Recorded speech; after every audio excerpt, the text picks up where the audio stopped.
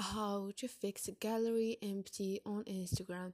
Hi guys, in this video I will show you how to fix a gallery empty on Instagram easy and quick. So all you need to do is go to your go to settings here and click on app and click on manage app and search for your Instagram here.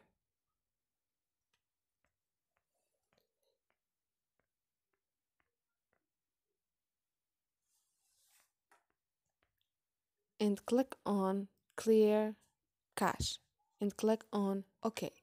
Once you clear cache, this will help you to solve your problem easy and quick.